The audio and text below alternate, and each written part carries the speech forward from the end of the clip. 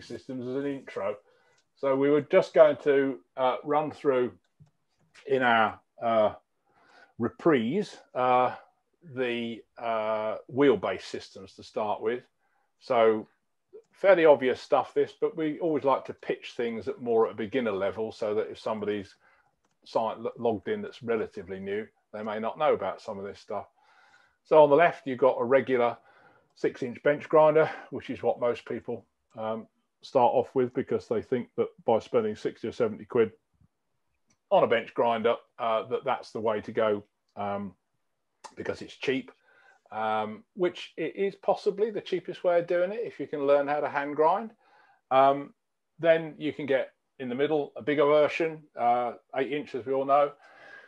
Uh, you move away from uh, the cheapest ones have come with grey wheels, then you go for white wheels, um, and then you can go to CBN. So uh, Simon Hope, for instance, sells an eight-inch bench grinder with a nice 40 mil white wheel on the left and a CBN on the right, and that's a half-speed one at 1400 RPM, like the middle one on there is, which is a bit slower, it's a bit better for grinding than um, more for sharpening than grinding, uh, and that's 350 quid.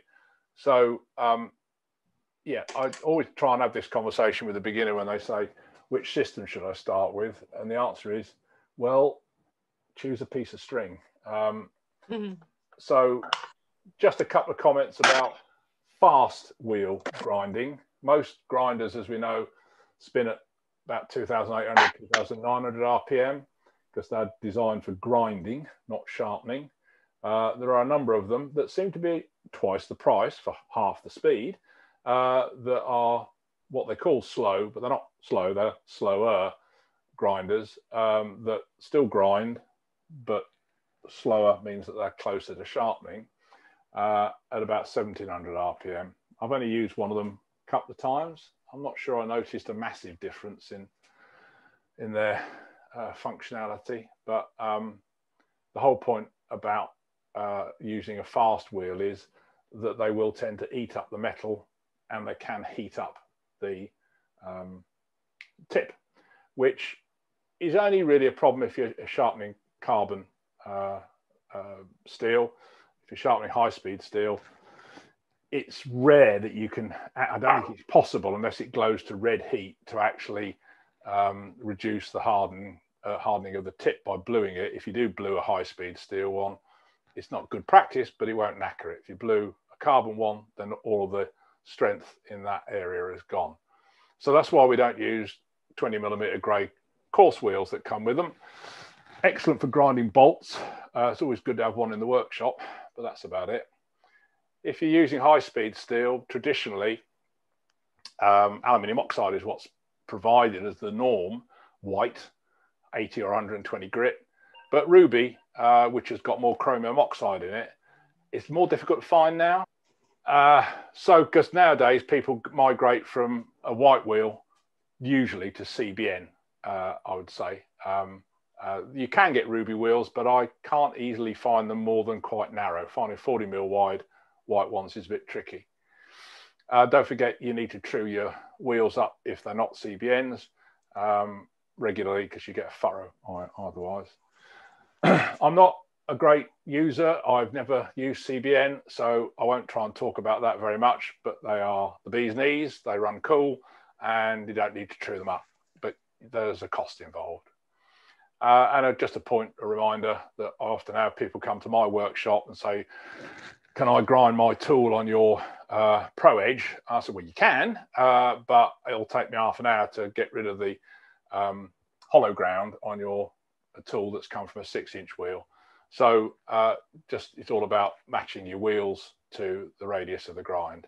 More important on a flat, on a skew, um, not the mathematics of a, of a hollow ground on a short bevel on a, a spindle gouge is such that there's not that much difference, but there is quite a difference when it's on a flat grind of a large bevel of a skew.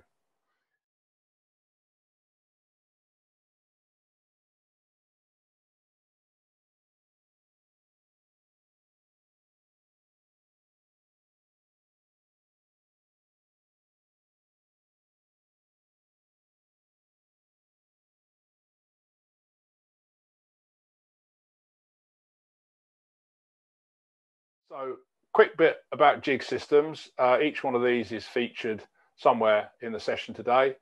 Wolverine is the first because Wolverine or Wolverine knockoffs are, I think, the most common jig system that people gravitate to when they buy a jig. On the bottom right, there are various versions of eBay blacksmith uh, made uh, ones, and there are various variants of that from half of the system from, for 35 quid to all three parts of it for 95. Axminster make the what the Oneway Wolverine UK knockoff version. There aren't very many that I can find of Oneway stockists of the true Wolverine system left in this country now that Tool Post has gone. I'm not sure who does it. Um, uh, Viv will talk briefly uh, about the Wolverine system in her presentation. No, I mean Shirley. I'm sorry, but Shirley. Shirley, sorry, sorry, sorry, sorry. um, you got How a spoke, yeah. Mm-hmm. Simon Hope is the new dealer for um, Oneway equipment, including the Wolverine. Oh, I know he's Oneway, but I didn't see the Wolverine. I did have a hunt, but thank you. That's great. Um, and I haven't yet seen the Wolverine Vari-Grind 2 yet in this country. Um, and that's the middle one, which is an add on, um, a variant for the way that the jig uh, is held in the cup, which maybe Shirley you want to talk about a bit at some point. Uh, but it seems to be that if you buy it as an add-on, it's about another 120 quid, uh, and it, it, just stops that uh, jig popping out of the cup when you do the uh, the grinding. I think if I was having the Wolverine again, I'd probably go for that. I had one of these as a knockoff yeah. to start with. Couldn't get on with it because the spoke got in the way. Yeah, I uh, think I'd go for the Vari-Grind too as well, actually, Mel. Yeah, but I didn't get on with it. It ground well, but the spoke got in the way. It, every time I walked past it, it took my bloody hip out. So that went in the bin.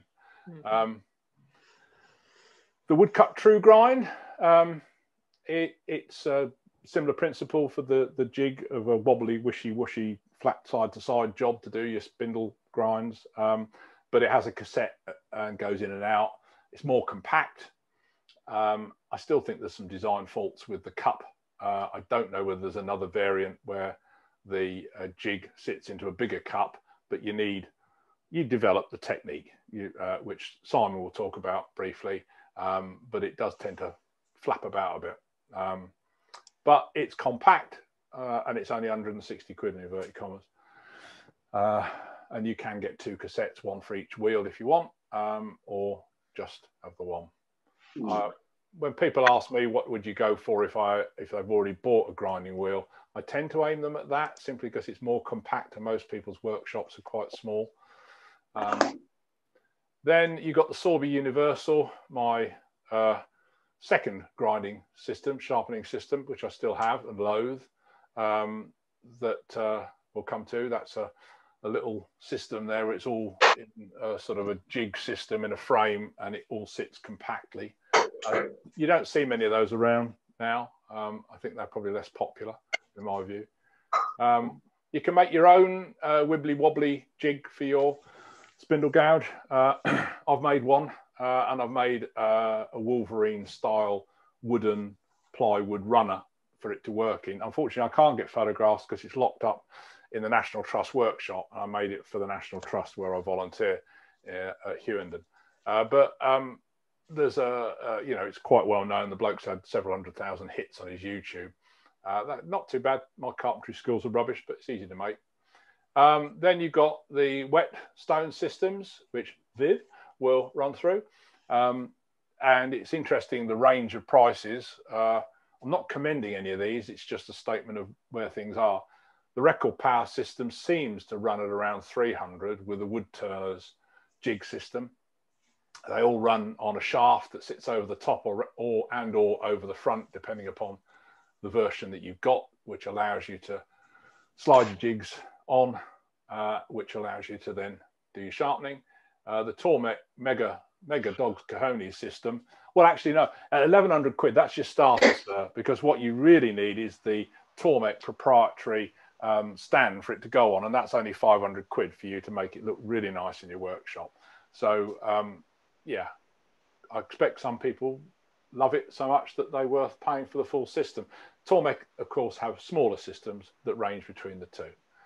Uh, then you get Linishers. Uh, you've got the Sorby Pro Edge, which we'll discuss at various times later on. Um, uh, and uh, similar, you need a platen for uh, straight across grinds, and you need a jiggy thing to do your wishy um, Ellsworthy type grinds. And then there's the new boy on the block, the Axsmith's Ultimate Edge Linisher, um, which is a bargain price of 480 quid. And you think that's absolutely wonderful. You realise you've got to spend 300 quid to buy a full set of Tormek jigs.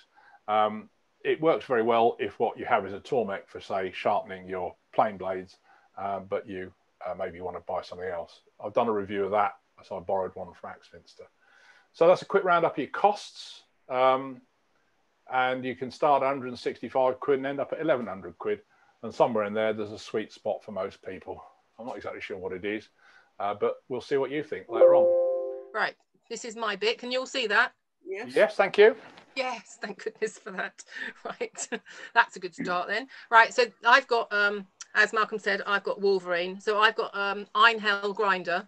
So that's all the specifications of it. Very boring, um, but I thought I'd put it there in case anybody was interested. Um, that's what it looks like in reality. What you get in the kit is basically this bit here and this bit here, and you have to um, pull the bar in and out in order to set the um, the skew or the roughing gouge or whatever into the um, onto the grinder. Okay.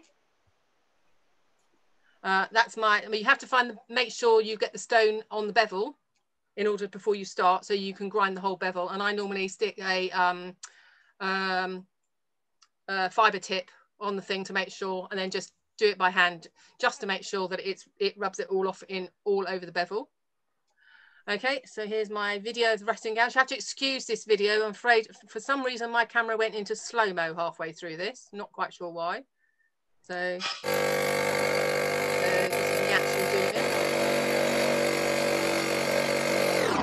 That's where it went into slow-mo. So in fact, I will go past this and just, this is just really boring. Literally, you just roll the whole thing round.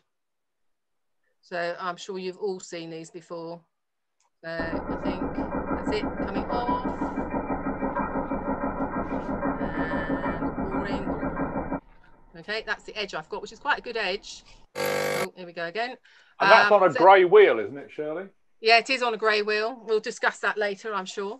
This is the um, the skew attachment I bought separately. So you can't see it too easily on here, but there's a pocket here, a pocket here, and a pocket here.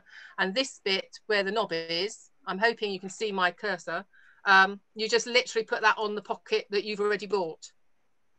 Okay, and then you put the skew in, you start whichever side you want to do first, you put the skew chisel in either the left hand pocket or the right hand pocket. So I'll show that now. So that's with it on, just show, showing it attached. So and there's my skew with the bevel rubbing. And there it is in the left-hand pocket because I'm going to do the left-hand side. I'm going to show you the left-hand side.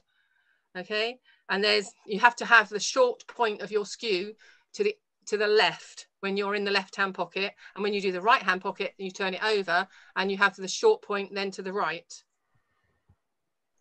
Okay. And this is my skew here. So here we go. I'm only I'm only going to do one side because the other side is exactly the same. And I'm not doing it freehand like it looks like I am. It is actually in the pocket.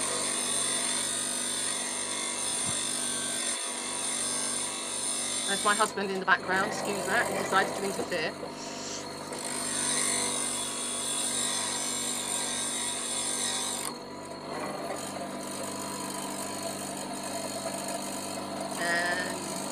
Blurred, I've got a better picture. I'll take that off. So there we go. So that's the edge that I actually got. Not a bad edge, actually. It was razor sharp. Okay, and you can see it better there. That's a much better version. And um, this I'm going to do, uh, this is for the uh, bowl gouge. Now, this is my Vari grind, which is the original Vari grind, which I'm guessing most people have probably got. Um, and so you put the tool into this bit here, which will show you, and you have to get a, um, make up a bowl gouge depth gauge with a piece of wood, which like which works like a bit like a bench hook. So and there it is with the hole, and I can't remember what the depth is off the top of my head, and I know I should have looked. Um, but there it is. So you literally just put the um, the bowl gouge in through your Vari grind, um, and then into the hole until it stops and then you tighten it up. And then you, um, there it is with the bevel on stone so that you know you've got the, the uh, pocket in the right place.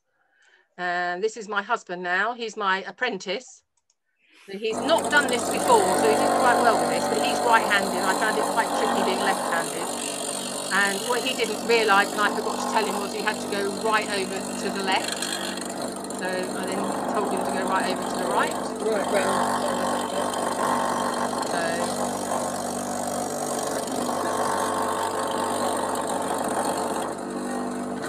and there we go. So, and that's the edge that I got, or he got, I should say. Bearing in mind that's the first time he's ever used it. And that's it for me. I'm done.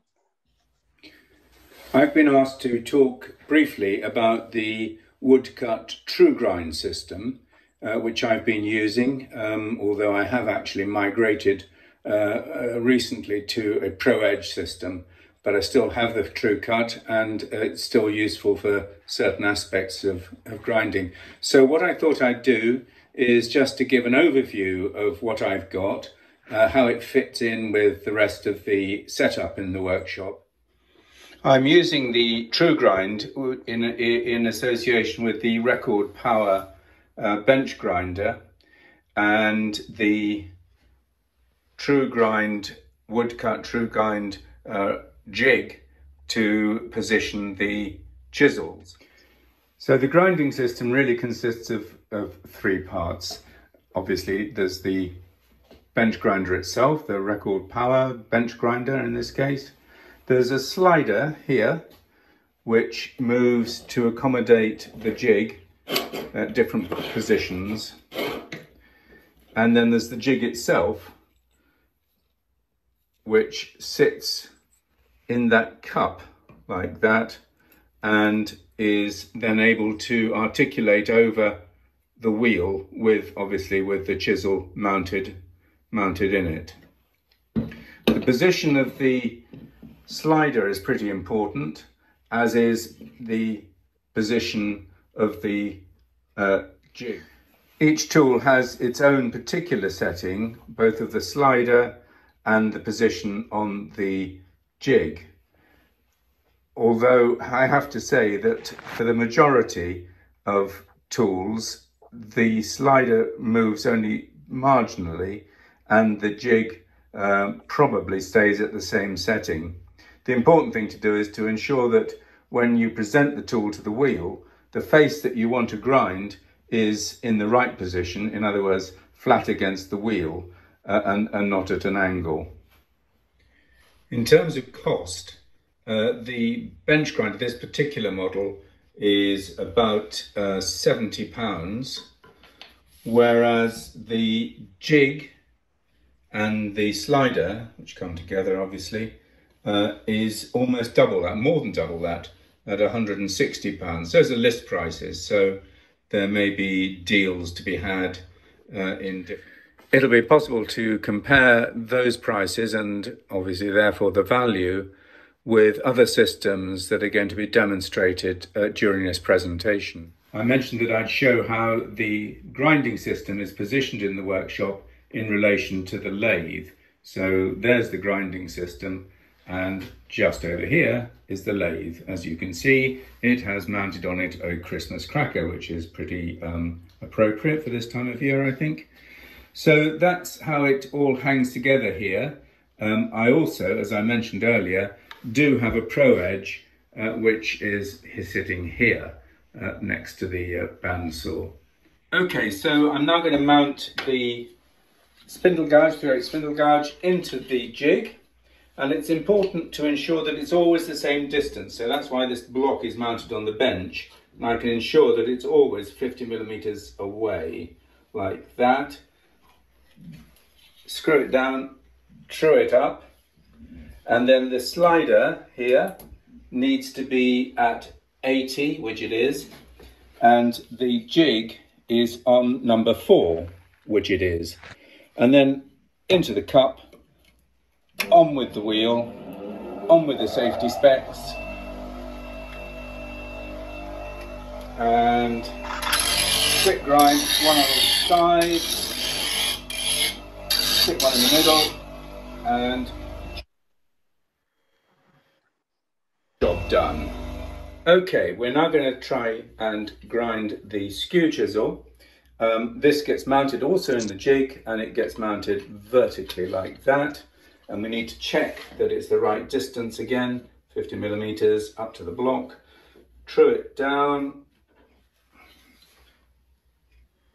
And the slider for this, uh, this chisel needs to be at 70, which it is and we just need to check that it's presenting flat against the wheel, which it is. So we can turn the wheel on like that. Quick grind on that side, quick grind on that side. Being careful to keep it flat always, and job done. Job done. You may be wondering why I have migrated from the Tru-Grind on a bench grinder to the Pro Edge. Um, it's not a full migration. I've used both, but I found that the uh, Tru-Grind is a bit fiddly and I, has, I wasn't able to get a really good edge on that. Whereas with the Pro Edge, I was able to. Um, and no doubt you will make your own mind up when you've seen Malcolm's presentation. Thank you, Simon.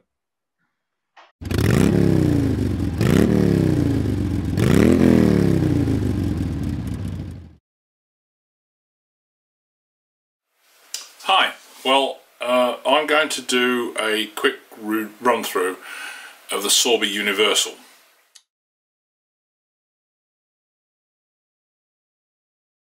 Not like the Wolverine with a big shaft going through it. It's all done in a small little dinky bracket. So it comes in two parts. You've got the bottom section, which takes the same Boss system as the Sorby Pro Edge and that allows you to put your jig system in it and to do your fingernail grinds and the platen at the top can be fixed onto a separate wheel with a separate frame um, if you wish uh, for grinding skews. But the advantage and disadvantage of it all being able to be in one location is it's very compact, but it also makes it a bit fiddly. So uh, in order to actually use the fingernail boss, you need to wind this out of the way, set your tool in the uh, jig. Uh, this particular jig is the uh, actually off the Sorby uh, Pro Edge because it just happens to be the one that I have to hand but the uh, angle at 120 degrees is the same on both systems.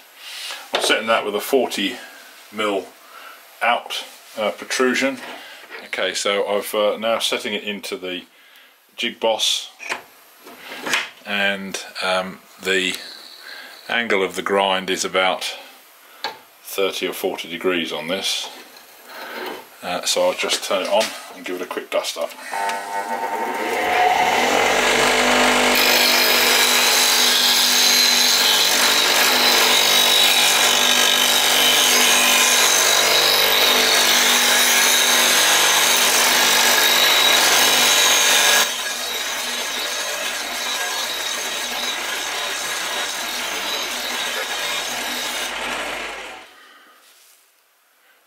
Right, so that's the grind that uh, is um, off the uh, Universal.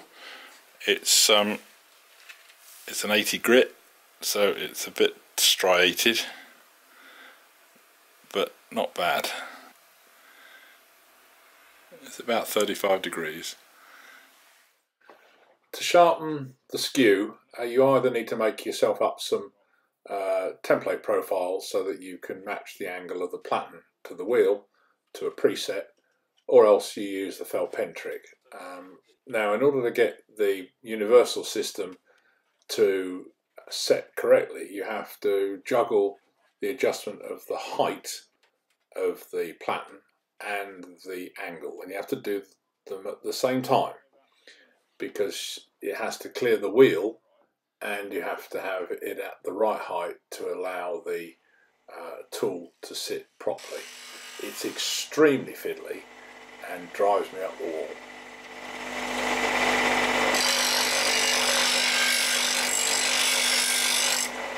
So one of the challenges is that the height and the angle both need adjusting for each each tool. And these flipping captive doodads. Uh, so you can't, I don't think, just set the the height and adjust the angle. Um, if you could, that would be easy. But that is a 25 degree, and that's about in the right position. So I go back to the skew uh, at 15 degree. If it was just the angle that needed adjusting, then I could just slacken this off. But you can't. You can't because what happens is, is that the base of the frame hits the body of the bracket.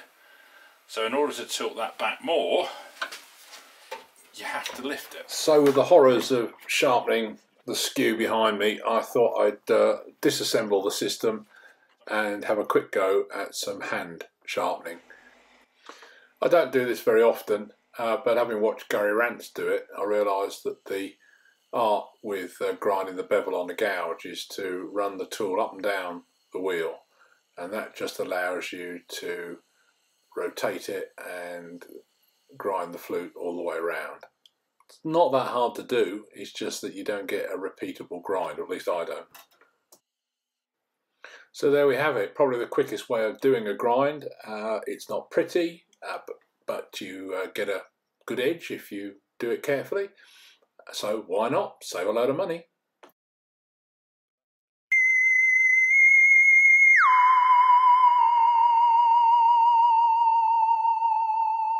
Um, it's Viv now on the uh, on the Tormek system. Uh, oh, somebody asked me, am I running my presentation through OBS and Zoom? Yes, I am. It's this is OBS and into Zoom. But, no, for me that's all right. Okay. Okay, well, there's a picture of it. Um, the, as as um, Malcolm pointed out right at the beginning, the, the basis of it is this this horizontal bar here, which is, as you can see, is also on the um, universal um, ultimate edge, so that you can use these jigs or the platform. Um, this uh, this wheel here is quite impressive, and uh, one of the videos later shows how it's the only precision um, piece of adjustment you can do. Um, I don't know, see what people think, but I, I use these cheap diamond files to, to um, clean it up. I don't know if that, there may well be opinions on that, but I find it cleans it up quite nicely. Um, so um, the um, support bar is available as uh, for, for a bench grinder. So I've got it here mounted by my CBN wheel.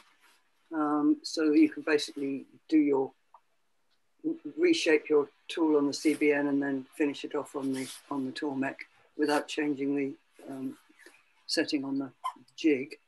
Um, I would just, just, uh, just point out um, that I think it's total bullshit that the CBN wheel doesn't heat up the tool. It does just as much as anything else does, it seems to me. So I, so I don't quench. So I go away and have a cup of coffee, come back and do it again when it's you know when it's cooled down. Um, but that so that's the BGM 100, and the costs are pretty much the same as you'd expect. Think of a number and double it. Um, this link I've put at the top of the chat, and it's a, a one-hour um, Tormek um, thing on YouTube to um, to tell you um, to tell you to buy Tormek and use the diamond wheel, etc. But it, it's very very uh, very useful stuff. Um, and this is my little bit, bit of jiggery papery to use the Vari-Grind um, without because you can't put the Wolverine under here. Um, and the um, what did you call it? Wibbly wobbly um, gouge gouge tool. Yeah. Um, the sleeve is too long for it to go far enough to the left on the um, uh, to, for a Celtic grind. So if you want a Celtic grind, then I use the I use the Wolverine on that uh, homemade. Uh, sorry, pointing at it with my finger uh, on that homemade um, pocket there, uh, and use this spacing uh, piece of cut piece of plywood to space it for different tools, and then check with the marker method. Um, now I think there's a video here, so. Um, yes, just a quick one. Um, this is basically how to how to adjust the um, turn the sound down. This is how to uh,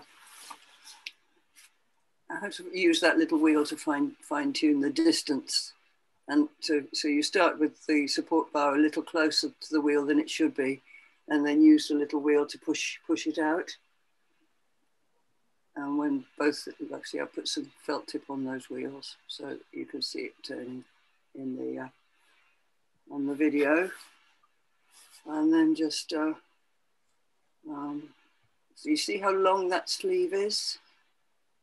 Um, so with a Celtic grind, it just doesn't go far enough to the left but it's fine for a spindle gouge or something like that. So I tend to use it for that. It's on a different setting with a spindle, spindle gouge anyway, so it's good to have the two different jigs uh, for different tools because then you don't have to keep change this, changing the setting. so where are we? So that's the uh, that's the edge. Um, that's a Filofax ruler, so that's one millimeter between the between the, the lines. So it's a different scale from the others, but I thought I would, I would try out my new microscope. Um, the only thing about that that I notice is there's this, this yellowing here, and I'm wondering whether that's just a reminder that you need to be very careful to dry your tool thoroughly after it's been on the water wheel. So here is the skew jig, and what I've done, maybe it's a little bit um, let me turn the sound down again. Um, is a little bit ambitious, but I wanted to show how this this jig can go wrong. It's a bit of a. It takes about both of them took me about three minutes to set to set up. Um, and I'm doing a radius edge on this, but you see what it's leaning on and what it's pivoting on, just the corner of the thing that but you can't see through my hand. So if you go too far up, too far to the, if you like, to, to the to the toe of the skew, then yeah, it falls off. And so that's something you really have to watch for. So I thought I would show you that. Um, and that is the edge. Um, which as you can see here, you can't see that with the naked eye, but you can see that it, there's a little bit of damage there. And I think that may be where, from, when, from when it fell off. Um, that's basically it. It's sort of, I'm afraid it's, um, yeah, and that's it. there we go. Done, Viv. Well done, Viv. That's great. Do, do you know what the um, uh, the wheel uh, grit is? I know that you can have it at one grit and then you can roughen it. But what do you know what your grit is on that wheel? Um, I don't actually. I mean, I think the thing is that it probably depends on the on the diamond file you use. That, that stone grader thing I didn't get on with at all, um, so I gave it away.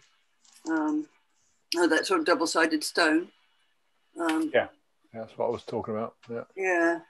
Um, um, um, the thing is, it, it, also because it rotates so very slowly, you can see how much more slowly it rotates. Um, you're going to take ages to, to get any reshape on it. Um, yeah, I'm not sure whether there are any other.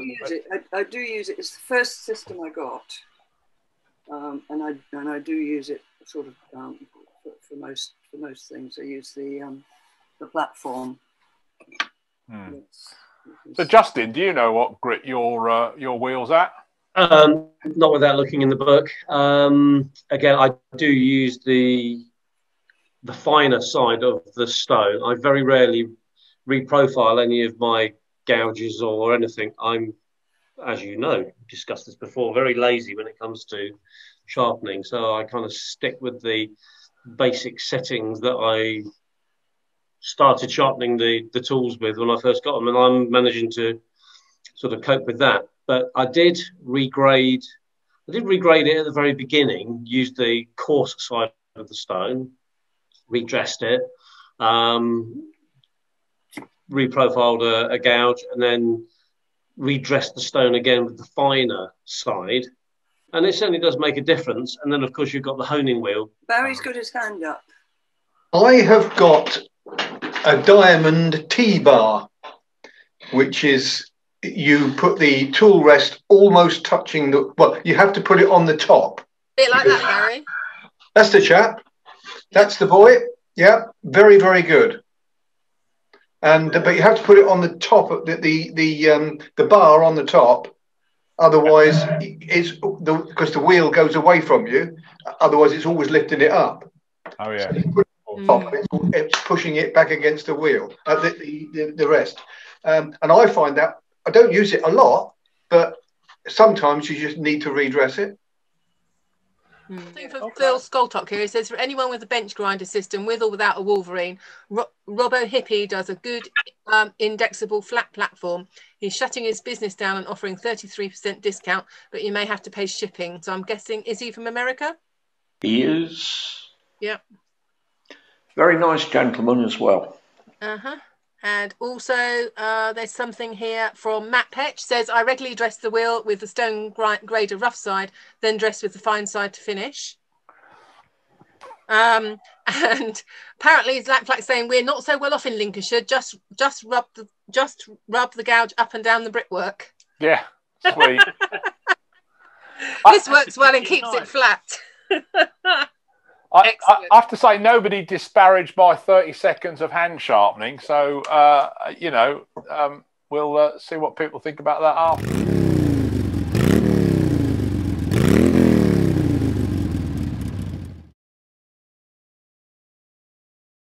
But firstly, I'll look at grinding skews using the platen, which can be set at different angles.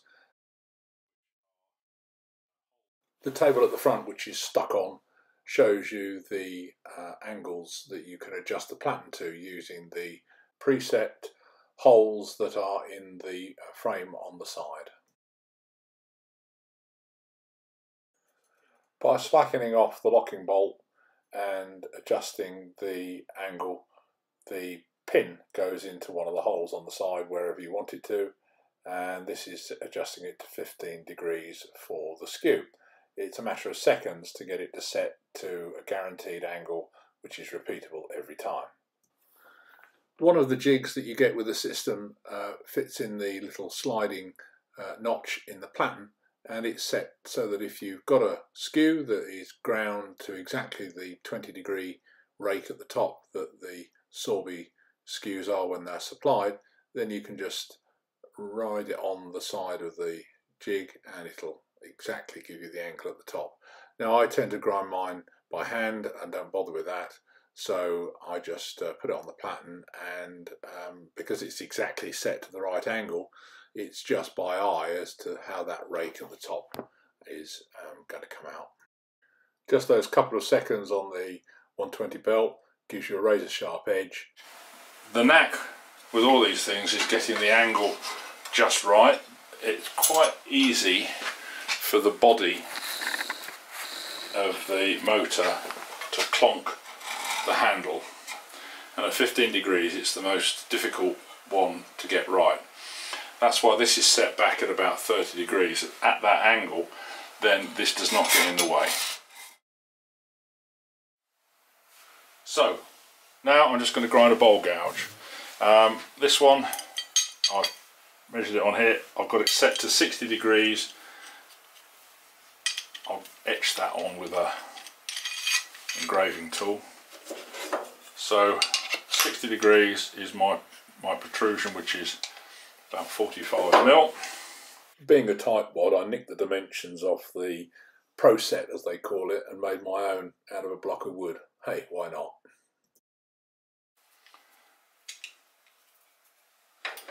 Just recheck. Sorry, Hands. Right, so that's now set to 45 mil protrusion. Uh, I'm going to stick it in the longest one, which means that this front angle is closer to about 70 degrees. And um,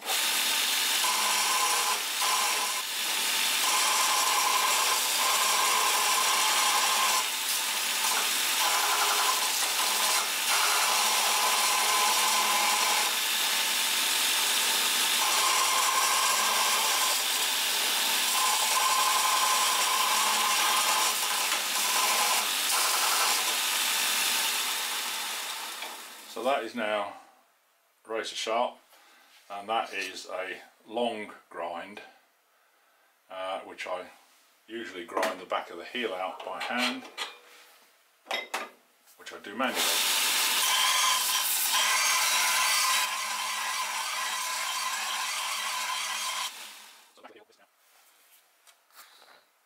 So the heel is quite significantly ground out by hand.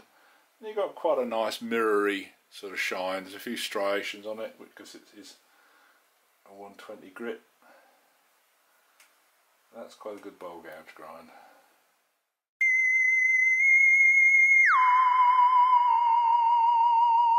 Uh, Any questions far away while I Yeah, start? there was one from Matt. He said, "Can Viv get your hand sharpening on the microscope?"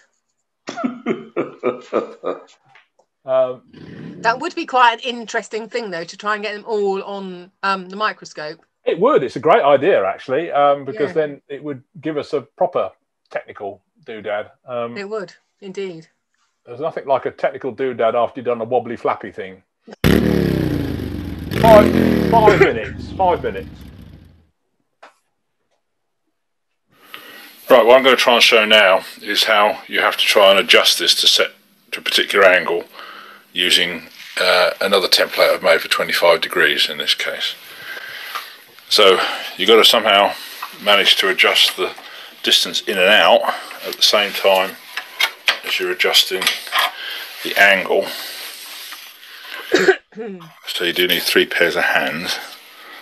So you've got to fiddle with this to get this to go in and out.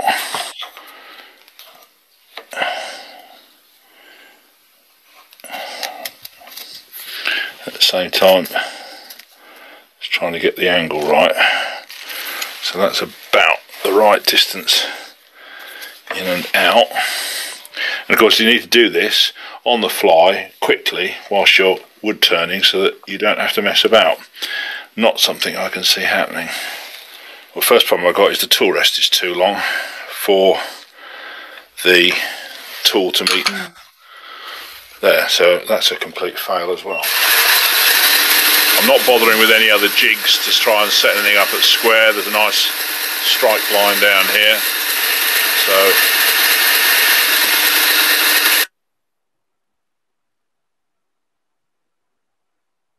So that one worked. So I then moved on to a 15 degree skew, and you can set that up the same as before with the template. But because the skew has got about a 20 degree uh, grind across the top, I found that the uh, body handle of the tool clonked the motor housing, and there was absolutely no way that I could get the bevel in contact and have it miss the housing. If you lifted the bevel up off the belt to about 20 or so degrees, then if I'd reset it, I could have probably missed the motor housing. But at 15 degrees, no way. And now reset with another 45 degree template so I can do a spindle roughing gouge. So that's 45 degrees.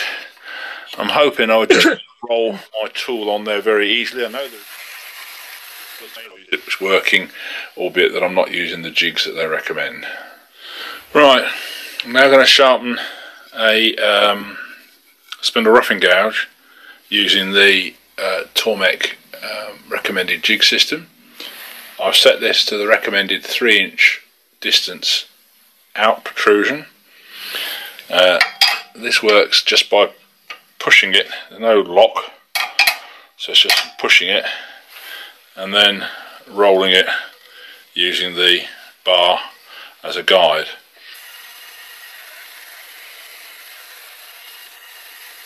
But at 3 inches and 33 mil seems to work about right. Right, I've just put a 60 grade belt on here and uh, I've set the distance to 33 millimeters. Uh, sorry, not 33. 24 millimeters, which is the distance I had ascertained when I had a previous go. I've uh, just going to mark up, check that I've got the right angle. So put that on here.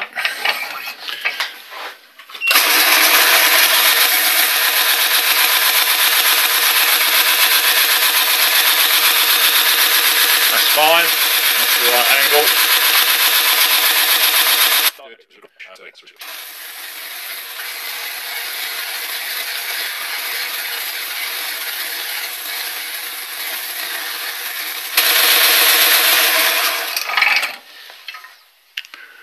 That's given it quite a nice grind off the 60 grit. That is successful. This moves quite nicely round. It doesn't clout. If you set it up right, this is going to be quite easy to repeat. But when you go to put the uh, side panel back on, I couldn't understand why there were uh, there was a washer uh, with this um, for the butterfly grip, butterfly um, wing nut.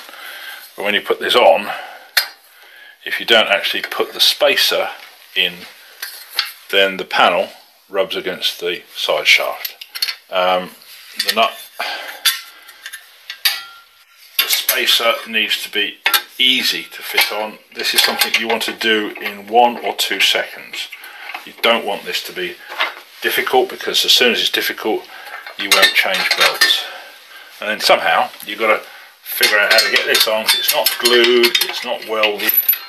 I just dropped it. So at this point, this would probably be going out the window.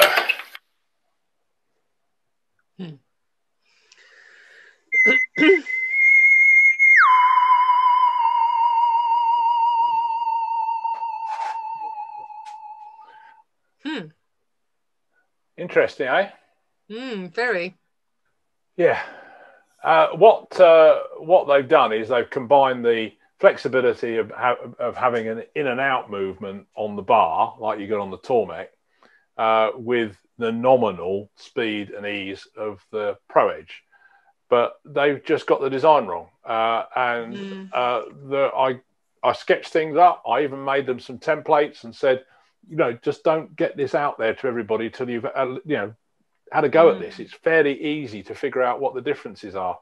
The little scribe um, uh, dimensions on the side are too short. You can't actually have a measurement for every setting because you run off the scale. Uh, it's just wrong. Um, and I don't understand why. Right, can you see that? Yeah. Right, it's now a PDF. So thank you, Phil, for the suggestion. I, I, I couldn't figure out quickly how to do the other version. So, Roger, in the beginning, are you still there, Roger? I'm I'm still here. I can't go away. Well, you've got to tell me what to do. It's your presentation. Do you want me to stay on that screen or? Well, I just thought this would, you know, set the scene so we know that these things that we've got now are, are modern, but the whole technology is very, very old. Anyway, next one.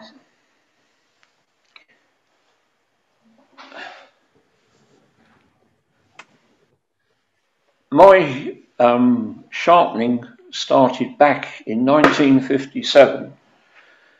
And in those days, the machine you see there is the kind of thing we had in woodworking class for sharpening chisels and plane irons. Luckily, things moved on a little bit. So, up, up and off. Next one, please. Mm-hmm. Thank you.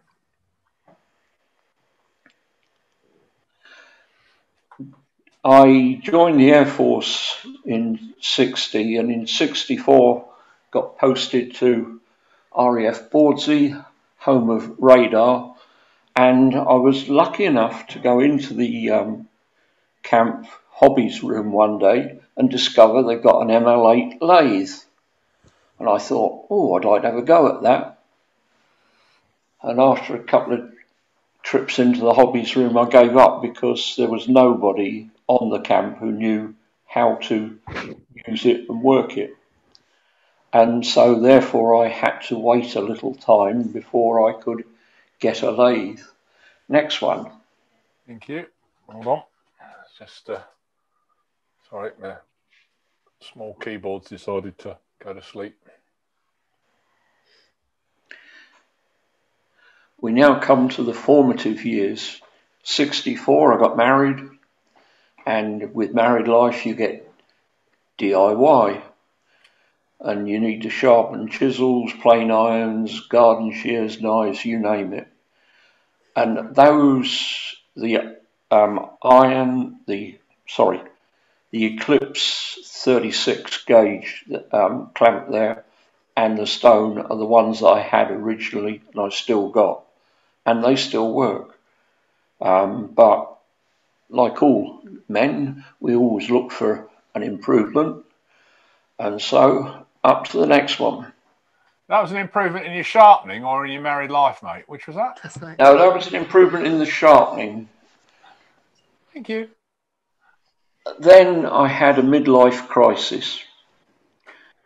I, on my 55th birthday, I went to a woodworking show in Birmingham looking to buy a saw table. I won a Triton Super Jaws, and the next thing I knew, my business had gone from microcomputer boards, software, and building computer enclosures to importing American made tools. And so in 1998, I finally got to take up wood turning. Um, I got a Tyme Cub lathe with a lot of Henry Taylor tools and decided that a course would be a good idea. And I went off to Craft Supplies in Millerdale and had a weekend course. And when you, in those days, when you went to the um, craft supplies, you got a 15% discount on any tools you decided to buy. And so I bought myself a Draper dual wheel uh, basic grinder, similar to the one shown there, but not as good. And I still got that. And then I decided to sell the Tormek system as a line for the company to sell. And it was a nice product. Um, but when you're selling Tormek, so's everybody else. And that is not the way I ran my business. I like to like to have exclusive lines or at least no more than two competitors. Right, next one please, Malcolm. So I dropped the Tormek and got involved with wood artistry with their lap sharp. Now this uses 3M materials for the sharpening and polishing. The bad news is it's no longer manufactured. Um, there's a little video there if Malcolm wants to try running it, which will give you an idea of what the machine is like. I can Um, give it a go. you- but with, my, luck, it probably won't work. I think we should get through it if that's all right. Right, okay. We'll leave that for the moment. Um, it's basically like a record player. Disc goes around at 140, 150 RPM, and you can set the angles um, very accurately. But if in today's market it would sell for around a grand with all the jigs and fixtures, but and you could sharpen on that um, any tool, even big planer blades.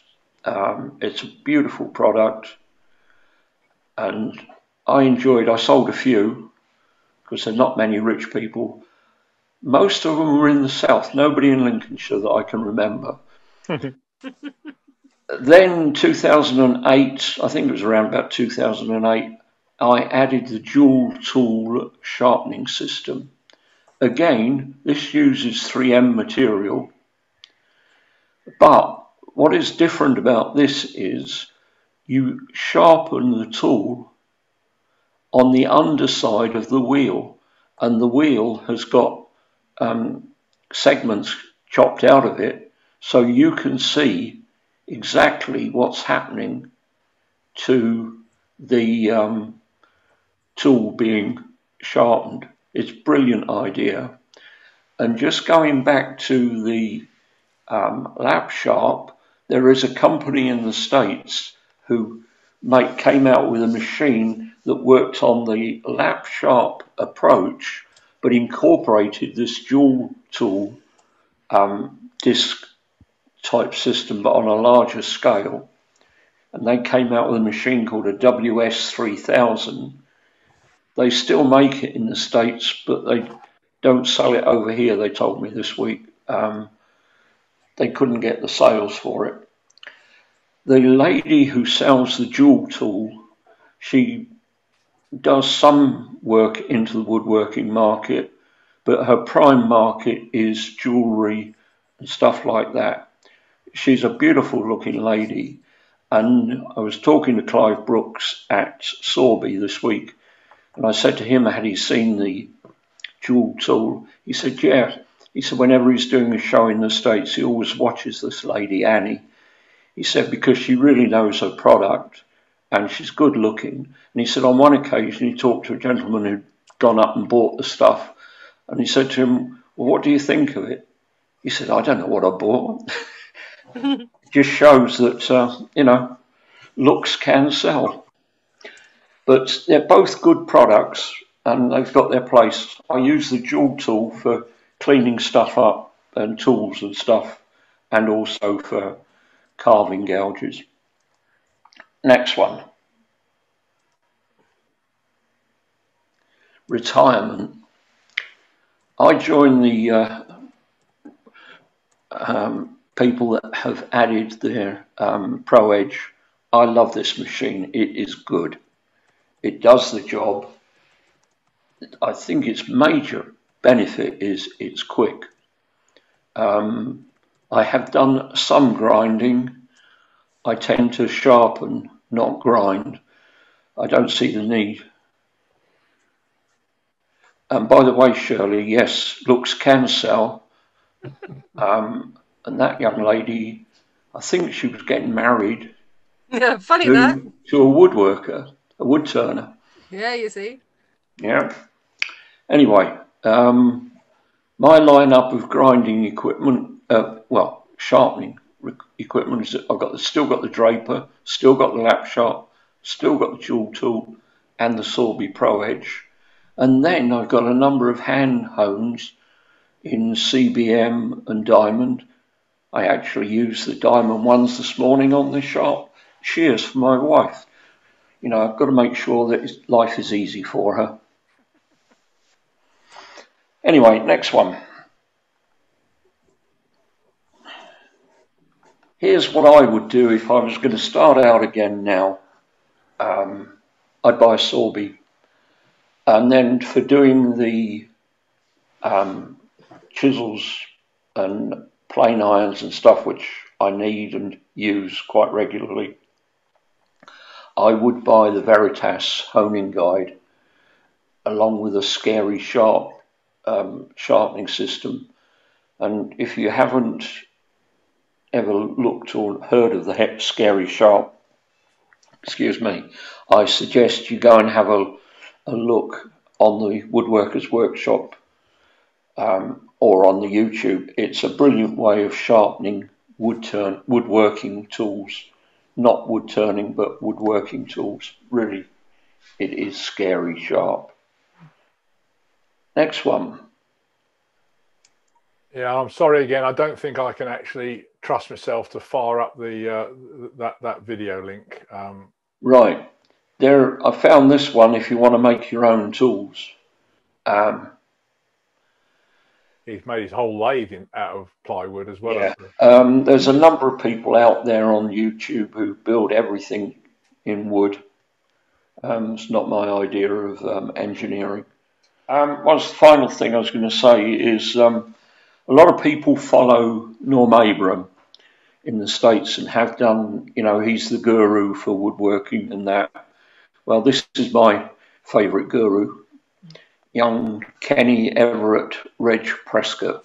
Bloody tip. Hello DIY buffs, Reg Prescott here with some more helpful DIY tips for all DIY freaks out there in DIY land. I've just been down the workshop and um, I picked up my, there you go, my Work Sharp WS3000. Oh, so there is one in the country. There is one in the country. What's going to be a worry is getting the bits and pieces for it. It's a cracking bit of kit. I, I mean, I do all my um, planer blades and, and chisels in it. You offer them up into this slot here, Yeah. which is adjustable width, and then it just catches the grit on the bottom of the removable disc here, um, which is uh, the discs are mounted on a on on a glass plate. Here's here's one, and uh, so you can change from through four grits, uh, well, you know, in a matter of seconds. Yeah. Also, this is adjustable, so you can uh, alter your bevel just at the click of a of a bit here. It's an absolutely cracking bit of kit. Well, once once they're worn out, though, uh, Richard, can you can Yeah, you still purchase them, or, or, or do you, uh, or, or can you? Well, they have these discs on it which are self-adhesive, so um, Okay. uh, I, I don't know. I hadn't appreciated that they were no longer available in this country, but uh, Well, the machine is not available. ah, but I expect they'll be able to get the discs and that. One of the discs is is this Yeah. baby. That's the one, and so that goes on upside down, and you offer the uh the the blade or something to the underneath of it and because of the holes in it and the light see oscillating you can see exactly what's going on yeah Mm. So that's it, folks. The results are in. 16 votes for the Pro Edge, and the next was the Wolverine or copy, and Tormek with four. Tru-Grind only with one. Resounding success for the Pro Edge.